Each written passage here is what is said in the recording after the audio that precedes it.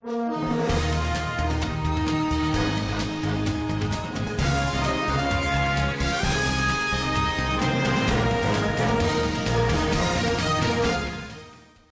malam pemirsa Jurnal TV dan Toraja TV.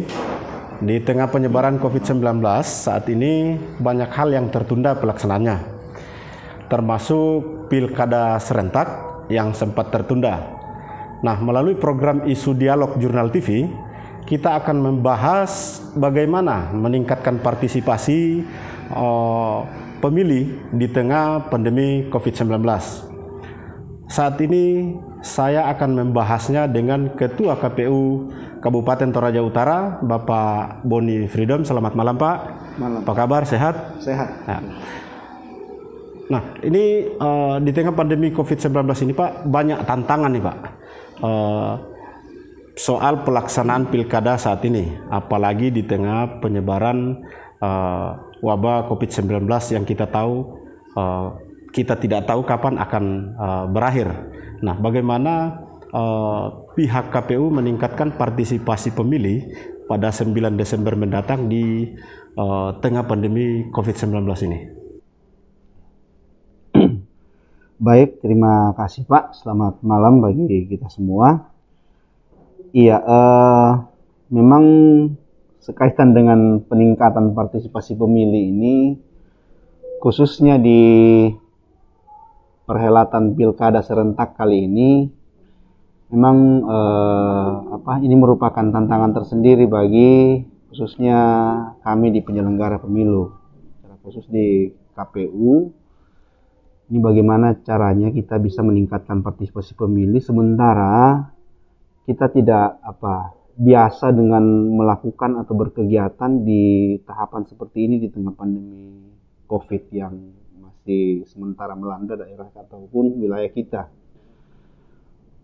Yang kami akan lakukan karena ini memang uh, baru pertama kali kami diperhadapkan pada situasi seperti ini di tengah pandemi seperti ini dan tidak hanya di KPU Toraja Utara yang mengalami namun semua uh, daerah yang berpilkada peningkatan partisipasi pemilih ini memang itu sangat perlu karena ini merupakan tantangan bagi kami di pemilu sebelumnya tahun lalu itu partisipasi pemilih di Toraja Utara itu bisa menembus angka 80%. Ini menjadi tantangan tersendiri bagi kami bagaimana mempertahankan itu. Partisipasi bisa berada di kisaran angka 80% untuk uh, perhelatan pilkada ini. Sementara kami dari KPU sampai ke petugas ke bawah ad hoc harus fokus juga menangani tahapan-tahapan di tengah pandemi COVID yang masih ada. Nah, ini kan tidak seperti dulu-dulu bahwa ada ruang bagi kita untuk aktif melakukan sosialisasi kepada masyarakat, pemilih pemula, pemilih perempuan, dan pemilih-pemilih berkebutuhan khusus lainnya untuk melakukan sosialisasi. Kita tidak apa bisa seperti dulu lagi bahwa kita akan bebas mengumpulkan orang banyak seperti itu. Nah sekarang ini tantangan bagi kami ya bagaimana menjalankan tahapan dengan efektif, efisien dengan baik, sekaligus hasilnya juga nanti bagaimana eh, tahapan yang sudah dijalankan ini partisipasi masyarakat itu bisa tinggi pada eh, Rabu 9 eh, Desember nantinya saat eh, pencoblosan kiat-kiat yang mungkin kami lakukan ialah mungkin menyasar uh, warga pemilih. Ini mungkin akan lebih banyak bermain di media sosial nantinya.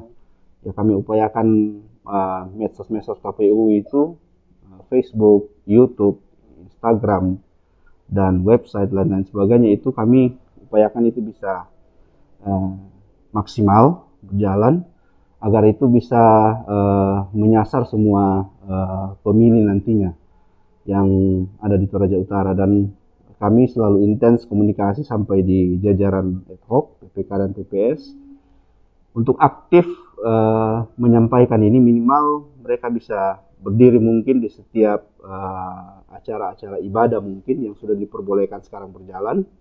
Apakah itu ibadah di gereja ataupun ibadah di masjid itu mereka bisa mungkin mengambil uh, waktu beberapa menit untuk terus intens mengingatkan kepada masyarakat terkait tahapan-tahapan yang sedang berjalan. Misalnya sekarang ini tahapan data pemilih, eh, pemutahiran data itu yang akan berlangsung sampai dengan 13 Agustus. Itu selalu diingatkan bagi warga-warga yang mungkin belum didatangi oleh PPDP, petugas pemutahiran data pemilih, agar mengingatkan penyelenggara bahwa kami ini belum didatangi, belum dicoklit. Nah itu bisa Eh, menjadi informasi awal bagi masyarakat. Kemudian terus mengingatkan bahwa tahapan-tahapan ini tidak hanya data pemilih, tetapi nanti ada tahapan pencalonan, kampanye dan lain-lain sebagainya sampai pada hari Rabu itu akan dilaksanakan pemungutan uh, suara di TPS. Kemudian yang agak menguntungkan juga bagi kami kalau berbicara pilkada-pilkada sebelumnya kan itu di TPS bisa sampai 800 pemilih. Nah, peraturan PKPU sekarang, PKPU sekarang yang mengatur itu bahwa pemilih itu paling banyak 500 per TPS.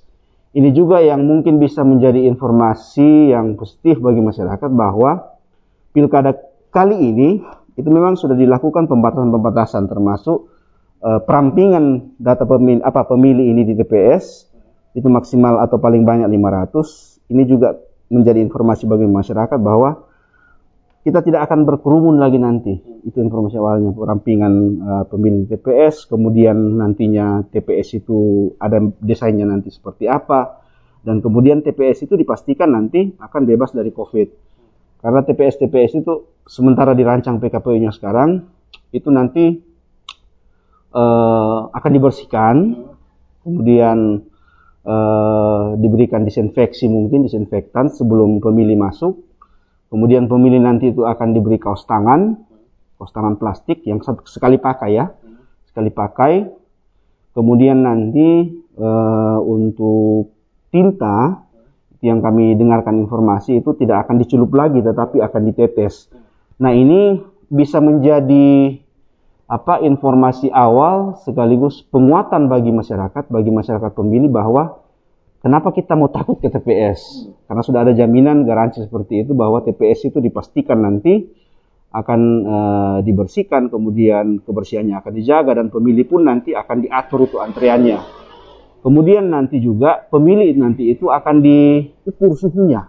Jadi suhunya akan diukur dan di peraturan KPU nomor 6 itu terkait pelaksanaan tahapan di tengah pandemi Covid itu maksimal 37,3 Ya. Kalau lebih dari 37,3 suhunya, nanti pemilih tersebut akan diarahkan ke bilik khusus. Jadi nanti di PS itu ada bilik khusus dalam hal misalnya pemilih yang ada pemilih yang lebih dari 37,3 uh, suhunya setelah di apa ukur suhu itu akan diarahkan ke bilik khusus untuk memilih. Jadi KPU kami tetap melindungi seluruh hak pilih masyarakat tanpa mengecualikan bahwa ini uh, apakah berpotensi COVID atau apa, semua orang kami jamin dan kami lindungi hak pilihnya.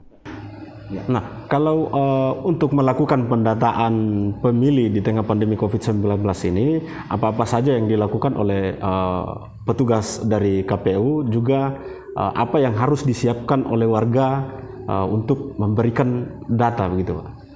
Iya, uh, pendataan pemilih ini kan sudah berjalan dari 15 Juli kemarin hingga 13 Agustus nanti.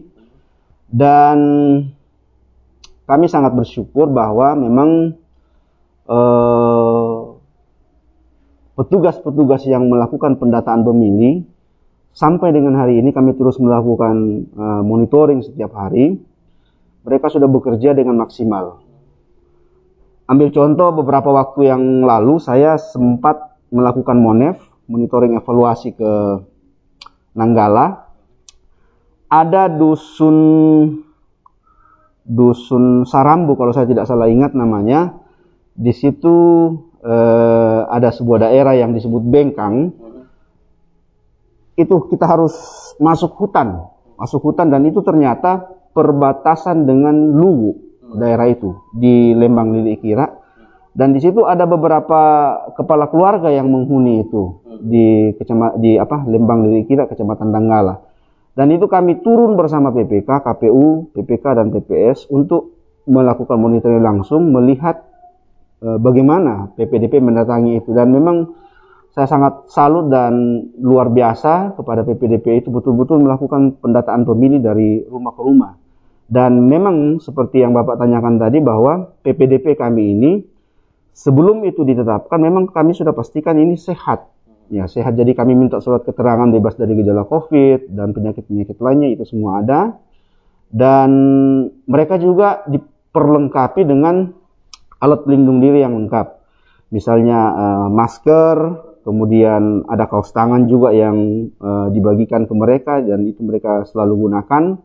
Kemudian ada face shield juga penutup muka dan ban lengan serta topi yang mereka selalu gunakan. Jadi uh, informasi bagi masyarakat karena ini masih masuk dalam tahapan pendataan sampai dengan hari ini tidak perlu takut untuk menerima uh, PPDK, PPDP kami dalam melakukan pendataan pemilih karena mereka memang sudah diperlengkapi dengan eh, APD. Kemudian kami juga menyarankan kepada PPK, PPS dan utamanya kepada PPDP sebisa mungkin melakukan coklit itu di halaman. Jadi kalau misalnya ada tongkonan, mungkin bisa duduk di alang, di tempat-tempat yang terbuka, jangan masuk ke dalam rumah. Sekiranya mungkin uh, ada izin dari tuan rumah untuk dicoklit di luar, seperti itu. Kemudian warga itu yang paling penting menyiapkan kartu keluarga, dan kemudian KTP elektronik e, dari pihak-pihak keluarga itu disiapkan karena itu merupakan dokumen yang sangat penting yang akan dijadikan rujukan oleh PPDP di dalam melakukan pendataan pemilih dan memastikan bahwa dan mengingatkan agar PPDP setelah melakukan coklit untuk menempel stiker di rumah masing-masing. Jadi kalau misalnya dalam satu rumah itu ada lebih dari satu keluarga, ya stikernya harus lebih dari satu. Karena ini coklit per keluarga yang dilakukan. Adakah formula khusus yang dipersiapkan KPU uh, agar partisipasi pemilih di pilkada uh, saat ini bisa meningkat, terutama yang Bapak sebutkan tadi di wilayah-wilayah perbatasan? Uh, kalau formula khusus ini yang kami persiapkan mungkin kami akan lebih banyak ke depan menjangkau lewat media-media sosial. Jadi karena ini diharapkan semua warga ini uh, kami berharap ini bisa menjangkaunya lewat mungkin HP-HP Android karena minimal dalam satu keluarga itu mungkin ada HP Android satu dan itu bisa apa menjangkau media-media sosial kami apakah Facebook atau YouTube untuk menerima informasi atau sosialisasi dari KPU. Kemudian kami juga memang lagi memikirkan karena ini apa anak-anak sekolah ini pemilih-pemilih pemula ini mungkin belum aktif sekolah kami sedang memikirkan bagaimana mungkin atau mungkin bisa kami mendapatkan nomor-nomor kontak dari anak-anak sekolah ini. Mungkin sudah ada grupnya di sekolah dengan gurunya melalui grup WhatsApp misalnya. Sekiranya itu bisa diberikan ke kami, khusus bagi pemilih pemula yang akan memilih nanti di tanggal 9, supaya itu kami bisa buatkan grup. Jadi itu nanti ada informasi mungkin apakah berupa slide atau berupa video yang bisa kami sebar masuk dan itu bisa di apa diterima oleh adik-adik kita di khususnya di pemilih pemula.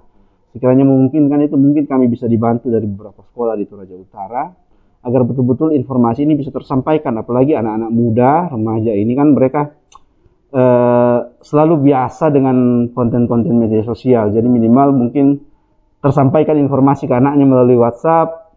Dia bisa sampaikan ke orang tuanya bahwa Ih, ada ada sosialisasi dari KPU begini. Ternyata pemilihan itu hari Rabu tanggal 9 Desember. Kita harus menyiapkan ini. KPU sudah menyiapkan ini. Nantinya jadi tidak perlu takut ke TPS untuk menggunakan hak pilih. Nanti ada ada surat undangan atau surat pemberitahuan yang biasa dikenal dengan C6 itu akan dibagikan nanti. Ada waktu-waktunya di situ dari jam berapa sampai jam berapa mencoblos. Kita mungkin bisa mengatur waktu. Jam berapa kita mau ke TPS supaya tidak terlalu antri. Seperti itu. Jadi potensi-potensi kerumunan itu ke depan memang akan selalu kami hindari termasuk nanti pelaksanaannya di TPS jaminan kepada masyarakat untuk tidak takut datang ke TPS untuk menggunakan hak pilihnya. Di, di tengah pandemi eh, COVID-19 ini Pak kan eh, KPU tadi uh, di periode sebelumnya ada 80 persen partisipasi masyarakat hadir di TPS. Nah untuk untuk meningkatkan hal itu apakah KPU punya tantangan tersendiri di uh, masa pandemi ini untuk melaksanakan pilkada? Uh, memang seperti yang kami sampaikan tadi bahwa di pemilu kemarin di tahun lalu itu kita bisa tembus sekitar 80% partisipasi masyarakat di Toraja Utara. Namun di pilkada ini sebelum ada Covid itu memang besar harapan kami untuk masif sosialisasi ke masyarakat. Apakah melalui pertemuan-pertemuan seperti yang kami lakukan sebelum-sebelumnya melalui sosialisasi forum warga, keluarga-keluarga itu dijangkau semua. Tantangan sekarang ialah kita tidak bisa berkerumun banyak melakukan sosialisasi itu secara masif kepada masyarakat dan itu menjadi tantangan tersendiri sehingga memang harus memaksa kami melakukan hal-hal yang memang tidak biasa dilakukan di sebelum-sebelumnya. Jadi memang betul-betul uh, sosialisasi yang kami akan lakukan ini melalui corong media sosial KPU ini memang harus masif ke depan. Itu mungkin salah satu cara yang efektif selain uh, menyampaikan kepada jajaran ad hoc sampai ke bawah untuk uh, bersosialisasi memanfaatkan situasi sosialisasi mungkin ada pertemuan-pertemuan atau ibadah-ibadah yang dilakukan secara rutin baik jumatan ataupun mingguan di gereja itu bisa di apa lakukan sosialisasi oleh penyelenggara sampai ke bawah untuk terus mengingatkan kepada masyarakat kaitan dengan tahapan pilkada utamanya untuk uh, pencoblosan di 9 Desember nanti. Nah, terakhir Pak di segmen isu dialog hari ini, uh, apa ada himbauan yang perlu disampaikan uh, Bapak selaku Ketua KPU Kabupaten Toraja Utara ke masyarakat uh, terkait uh, pelaksanaan pilkada di masa pandemi ini? Uh, himbauan dari kami untuk penyelenggara kepada masyarakat bahwa kami berharap agar situasi ini terus kondusif ke depan di tengah pelaksanaan setiap tahapan yang ada sampai pada pencoblosan, pemungutan, dan penghitungan dan tahapan-tahapan selanjutnya kita berharap daerah kita uh, tetap kondusif untuk Toraja Utara. Kemudian kami juga menyampaikan kepada masyarakat agar uh, betul-betul uh, menjaga kesehatannya nanti untuk ke TPS itu agar menggunakan minimal nanti menggunakan masker untuk datang ke TPS dan tentunya nanti pemilih juga akan diperlengkapi dengan pos tangan dan lain sebagainya. Di TPS juga nanti itu kami akan menyediakan uh, sarana tempat cuci tangan kemudian ataukah hand sanitizer nantinya. Dan ini tentu menjadi penguatan bagi masyarakat untuk uh, tidak takut memberikan atau datang ke TPS memberikan hak pilihnya. Penyelenggara pun juga semua sampai ke bawah kami sudah perlengkapi dengan alat pelindung diri. Memang kami selalu intens sarankan bahwa e, selalu jaga kondisi tubuh, selalu fit, menggunakan minimal menggunakan masker bila e, apa namanya e, melaksanakan tahapan utamanya tahapan yang langsung bersentuhan dengan e, masyarakat misalnya data pemilih ini penyelenggara itu wajib hukumnya memakai alat pelindung diri minimal menggunakan masker. Seperti itu. Kemudian eh, harapan kami juga semoga proses pilkada ini bisa berjalan dengan aman, damai, lancar dan sesuai dengan harapan kami pilkada di Toraja Utara ini untuk pilkada ini bisa eh, apa, berbudaya dan bermartabat. Ya, ah, sebenarnya masih banyak yang ingin kita cerita ini Pak Ketua, cuman karena waktu yang membatasi kita, sehingga uh, dialog hari ini nanti kita lanjutkan di session berikutnya. Nah, uh, pemirsa Jurnal TV dan juga Toraja TV, demikianlah program isu dialog kali ini. Terima kasih atas kebersamaan Anda dan juga terima kasih kepada manajemen Hotel Lembang yang telah mendukung kami dalam program uh, isu dialog kali ini. Seluruh kerabat kerja yang bertugas mengucapkan terima kasih atas kebersamaan Anda dan sampai jumpa.